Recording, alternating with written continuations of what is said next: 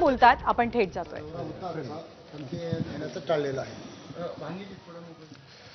आपण रोहित पवार. यांनाच विचारूया की नक्की काय होतंय. अजित पवार या कार्यक्रमाला उपस्थित होणं अपेक्षित होतं. रोहित दादा म्हणजे हा जो कार्यक्रम आहे खरं तर तो राजकीय नाही आणि महाराष्ट्रातल्या साखर उद्योगाशी संबंधित सगळे नेते किंवा उद्योजक या कार्यक्रमाला उपस्थित राहतात. अजितदादा खरं तर येणार असं सांगण्यात आलं होतं. दौराही होता मात्र आलेले नाही आहेत ते. महाराष्ट्राचे उपमुख्यमंत्री आहेत काहीतरी महत्त्वाचं काम त्यांना आलं असावं आणि म्हणून कदाचित त्यांनी ते कॅन्सल केलं असावं. सहसा आपण बघितलं तर व्ही एस आयच्या कार्यक्रमाला कोणाचंही सरकार असेल तर सर्व पदाधिकारी म्हणजे मुख्यमंत्र्यांपासून ते सर्व जे प्रमुख नेते जे उसाशी शेतकऱ्याची शेतकऱ्याशी निगडीत असतात ते सर्वजण तिथे येत असतात. आज कदाचित त्यांना कुठलं तरी इतर महत्त्वाचं कार्यक्रम नाही तर काम असल्यामुळे कदाचित त्यांनी ते कॅन्सल केलं दा- फक्त दादा हा एकच कार्यक्रम नाहीये. नाट्य संमेलनाचा असेल कार्यक्रम किंवा इतर. अजितदादा पवार साहेबांच्या समोर येणं टाळतायत असं वाटतंय? एकाच मंचावर येणं ते टाळताना नाही हे नाही मला खरं तर सांगता येणार. कारण जेव्हा प्रधानमंत्री साहेब मोदी साहेब इथं आले होते पुण्यामध्ये तेव्हा तरी एका व्यासपीठावर होते. त्यानंतर परत ते त्यानंतर मात्र येताना दिसत नाहीयेत. गेल्या काही दिवसांपासून जी वक्तव्य खास करून बारामतीमध्ये जे काही वक्तव्य अजितदादांनी शरद पवारांच्या वयांच्या बाबतीत केलं त्यानंतर एकत्र येताना दिसत नाहीत असं आमचं पत्रकारांचं निरीक्षण सांगतंय. नाही तसं नसेल. कदाचित मुख्यमंत्री आणि दुसरे उपमुख्यमंत्री हे कार्यश्रम नसल्यामुळे एका उपमुख्यमंत्र्याला तरी कार्यश्रम राहावं लागत असेल. म्हणून दु एक मुख्यमंत्री आणि दुसरे उपमुख्यमंत्री राजकीय दृष्टिकोनातून अख्ख्या महाराष्ट्रात फिरत असताना महाराष्ट्र कुणीतरी चालवावा. या अनुषंगाने कदाचित दादा काम करत असावे आणि बाकी लोक काम नसेल करत असं वाटतं. नाही पण हा आजचा एकमेव कार्यक्रम नाहीये. असं एकूण चित्र निर्माण होतं की दादा पवार साहेबांसमोर येणं जाणीवपूर्वक होतं? माहीत नाही. ते- त्यांचा त्यांचा विषय आहे. आज दादा या बैठकीला येणार. असं मला कळलं होतं. आणि सर्व जे प्रमुख नेते आणि जे पदाधिकारी आहेत ते येणार होते. खरं तर माझा कार्यक्रम बारामतीला युवा संवादाचा होता. पण तिथं न जाता हा कार्यक्रम जास्त महत्त्वाचा आदरणीय पवार साहेबांनी कालसुद्धा मला सांगितलं. सर्वच लोक येत आहेत तुलाही यावं लागेल. त्या दृष्टिकोनातून मी तरी आलो आहे दुसरे का नाही आलेत हे मला तरी नाही सांगता येणार. रोहित दादा तुम्ही दुसरी जी काही म्हणजे एक मागणी केली होती तलाठी भरती संदर्भामध्ये आणि तुम्ही आरोप केला होता विखे पाटलांवरती की पंचवीस लाख रुपये घेण्यात आले. तर विखे पाटील म्हटलेत की तुमच्यावरती कारवाई करण्यात येईल. तुम्ही जे आरोप केलेले आहेत त्या संदर्भात. कसं आहे की आमचं सातत्याने हेच म्हणणं होतं की तलाठी भरती आणि सर्व ज्या काही भरती प्रक्रिया या महाराष्ट्रामध्ये चाललेल्या आहेत त्याच्यामध्ये खूप मोठा भ्रष्टाचार आहे पेपर फुटी हे सातत्याने होत आहे. भाजपचं गेल्या पाच वर्ष पाच वर्षात जेव्हा सरकार होतं तेव्हा हेच झालं ना आता परत हेच सुरू झालं पण या बाबतीत कुणीही लक्ष दिलं नव्हतं. आम्ही जेव्हा हा मुद्दा मांडायचो तेव्हा आम्ही सिरियस नाही युवा सिरियस नाहीत असं उत्तर उपमुख्यमंत्री देवेंद्र फडणवीस साहेबांकडनं येत होतं. आणि आता माझं असं मत आहे की हा मुद्दा आता मुलांनीच मांडलेला आहे मुलांनीच तो पुढं आणलेला आहे. याच्यात मी हेही सांगितलेलं आहे आमच्यावर जी काही कारवाई करायची ती तुम्ही करा. खरं तर इतक्या कारवाई आमच्यावर झाल्यात अजून कुठली कारवाई राहिली का हा मोठा प्रश्न आहे.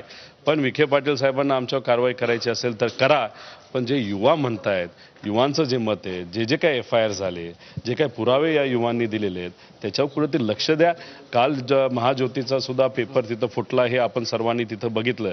आणि हे दुर्लक्ष करत चाललेत. म्हणजे तुम्ही भ्रष्टाचार जर करत असाल नाही तर याच्यामध्ये जर आर्थिक व्यवहार झाला असेल तर या गरीब मुला मुलींच्या भवितव्यावर का तुम्ही करताय? असं आमचं मत आहे. दादा दुसरा एक महत्त्वाचा मुद्दा अजित दादांकडून सातत्याने पवारसाहेबांच्या साहेबांच्या वयाचा मुद्दा उपस्थित केला जातो. जो बारामतीमध्ये असू दे किंवा मुंबईतसुद्धा जे काही दादांचं पवारसाहेबांचं पवार साहेबांचं वय झालं चौऱ्याऐंशी वय झालंय आता कुठेतरी थांबलं पाहिजे. आम्ही मार्गदर्शन त्यांनी मार्गदर्शन करावं आम्ही. अशा पद्धतीची भूमिका ते सातत्याने मांडताना दिसते. ते पवारसाहेब आजपर्यंत मार्गदर्शनच करत आलेले आहेत. आणि आपण जर बघितलं तर वयाच्या बाबतीत आम्ही जेव्हा युवा म्हणून बोलतो तेव्हा आमचं वय कमी आहे असं सांगण्यात येतं. आम्ही बच्चे आहोत आम्ही लहान आहोत. आता आमचं वय अडतीस झालेलं आहे. या वयामध्ये आदरणीय पवारसाहेब या देशाचे सर्वात यंग असे मुख्यमंत्री झाले होते.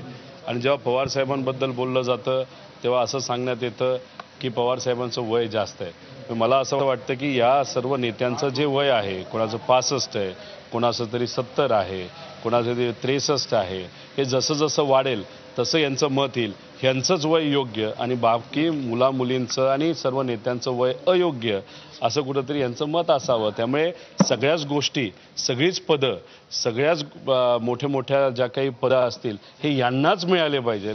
या हेतूतून कदाचित यांचं वय योग्य आणि बाकीचं या अयोग्य रोहितदादा त्यांना अजित म्हणजे अजितदादांना शरद पवारांच्या जास्त वयाबद्दल आक्षेप आहे तसंच तुमच्या कमी वयाबद्दल पण आक्षेप आहे. तेच मी म्हणतोय ना या नेत्यांचं ज्यांनी सत्तेसाठी स्वहितासाठी ते विचार सोडून दुसऱ्या पक्षाबरोबर गेलेले आहेत ते स्वतःसाठी गेलेले आहेत त्यामुळे तिथं जाताना जे वय लागतं ते वय त्यांच्याकडे आहे. सत्तेत जाण्यासाठी जे वय लागतं ते त्यांच्याकडे आहे. एखादं मंत्रिपद घेण्याचं जे वय लागतं ते त्यांच्याकडे आहे. आणि यांचं वय जसं वाढेल तसं तसं त्यांच्यासाठी ते वय योग्य योग्य होत जाईल असं आम्हा सगळ्यांना वाटतं. त्यामुळे हे कसं आहे की सोयीचं राजकारण आहे सोयीचं भाषणं आहेत. आणि तुम्ही जर बघितलं तर हे जे सर्व नेते आहेत गेल्या काही महिन्यांमध्ये म्हणजे सुरुवातीपासून जेव्हा आदरणीय पवार साहेबांना सोडलं विचाराला सोडलं ना आत्तापर्यंत नेहमी नेहमी त्यांचा वेळ कशामध्ये जातो आम्ही निर्णय घेतलेला कसा योग्य आहे त्यांना हे माहिती आहे कार्यकर्त्यालाही पटेना आणि लोकांनाही पटेना त्यांनी घेतलेला निर्णय योग्य आहे जे काही सर्वे आता बघितलेले गेलेले आहेत ते कुठेही हे लोक समजा उद्धव ठाकरे साहेबांचा गट सोडून गेलेले नाही तर आदरणीय पवार साहेबांना सोडून गेलेले आहे. त्यांना कुठंही जनमत मिळताना दिसत नाही काल जो निकाल लागलेला आहे तर त्याबद्दल काय वाटतं? आणि राष्ट्रवादीच्या बाबतीत सुद्धा अशाच पद्धतीने निकाल येणं अं, शक्यता आहे? कालचा जो निर्णय तसा बघितला तर सुप्रीम कोर्टाने दिले- दिलेल्या निर्णयाच्या विरोधातला निर्णय आहे. हा जेव्हा कोर्टात परत जाईल तेव्हा निर्णय हा उद्धव ठाकरे साहेबांच्या बाजूने लागेल हे आपल्या सर्वांना बघायला मिळेल. आश्चर्य आणि दुःख या गोष्टीचं आहे की अधिवेशनामध्ये आपण जर बघितलं तर आपल्या सगळ्यांची अपेक्षा असते गरिबाचे प्रश्न सुटावेत सामान्य लोकांचे प्रश्न सुटावेत. ते तरी सुटताना दिसत नाहीत. तिथं फक्त नेत्यांचे प्रश्न सुटतात नाहीतर जे आमदार सत्तेत आहेत त्यांना निधी दिला जातो बाकी तिथं काही होत नाही.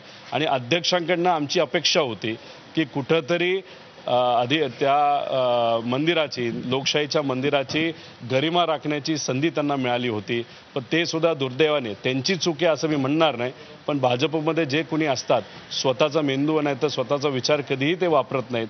त्यांना नेत्याचंच ऐकावं लागतं आणि काल दुर्दैवाने अध्यक्षांना हे भाजपच्या मोठ्या नेत्यांचं ऐकावं लागलं आणि संविधानाच्या विरोधात आणि सुप्रीम कोर्टाच्या विरोधात त्यांना निर्णय द्यावा लागला. भीती ह्याचीच आहे.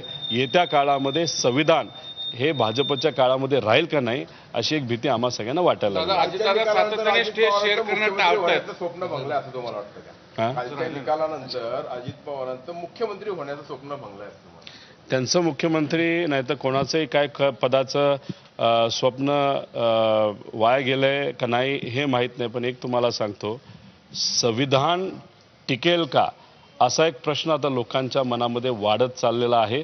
त्याच्याचबरोबर आपण जर बघितलं तर सामान्य लोकांचे प्रश्न हे अधिवेशनामध्ये सुट्टी सुटणार नाहीत असे कुठंतरी आता मोठ्या प्रमाणात आम्हा सगळ्यांना वाटायला लागले आमदार झाल्यानंतर एक वेगळी वेगळा आनंद असतो की आपल्याला सामान्य लोकांचे प्रश्न त्या लोकशाहीच्या मंदिरामध्ये मांडून सोडवता येतील पण ते काय आजपर्यंत झालेले नाही. त्यामुळे महाराष्ट्राच्या विधिमंडळाची जी काही गरिमा होती ती आज शंभर टक्के राहिलेली नाही. त्यामुळे येत्या काळामध्ये लोकांनीच योग्य असा निर्णय घेऊन कुठंतरी जे लोक खऱ्या अर्थाने सामान्य लोकांचे प्रश्न सोडवतील अशाच लोकांना निवडून देणं महत्त्वाचं आहे. सातत्याने अजित दादा साहेबांचं वय काढतात पण त्या साहेबांसोबत स्टेज शेअर करणं सातत्याने टाळतायत. काय मी कुठेतरी तो त्यांचा त्यांचा व्यक्तिगत विषय आहे. आपण पण जेव्हा एखाद्या कार्यक्रमाला जातो तिथं विरोधी पक्षाचा एखादा नेता असेल तर आम्ही त्या स्टेजवर जात असतो पण मी मगाशी म्हणलं तसं. मुख्यमंत्री साहेब हे काम करत नसावेत. देवेंद्र फडणवीस साहेब हे काम करत नसावेत. ते राजकीय दृष्टिकोनातून थोडे बिझी असावेत. आणि अख्ख्या महाराष्ट्राची जबाबदारी आदरणीय दादांबरोबर दादांच्या खांद्यावर आली असावी.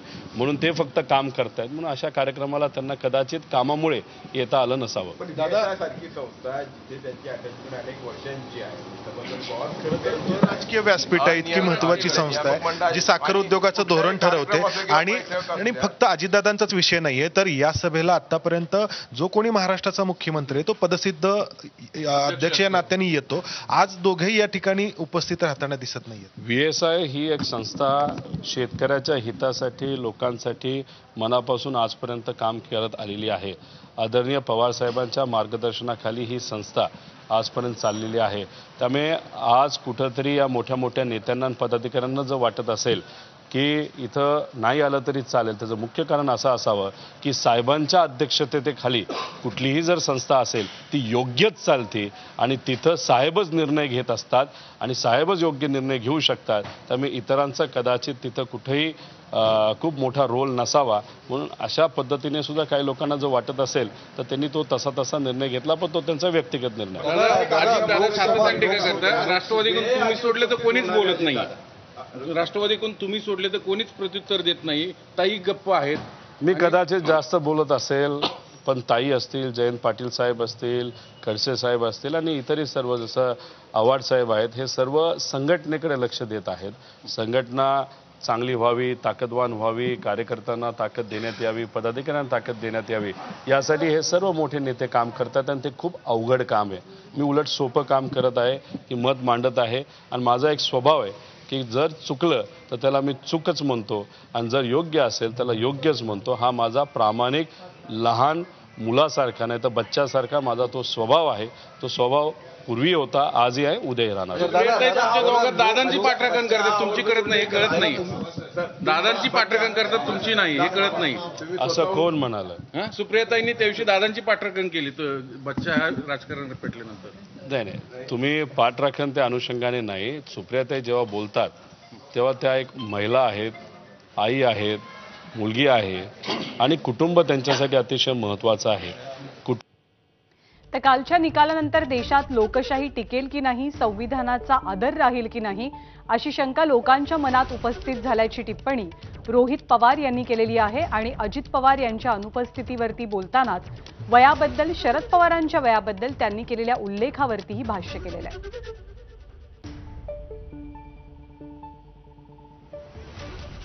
वसंतदादा शुगर इन्स्टिट्यूटची आज वार्षिक सर्वसाधारण सभा पार पडणार आहे.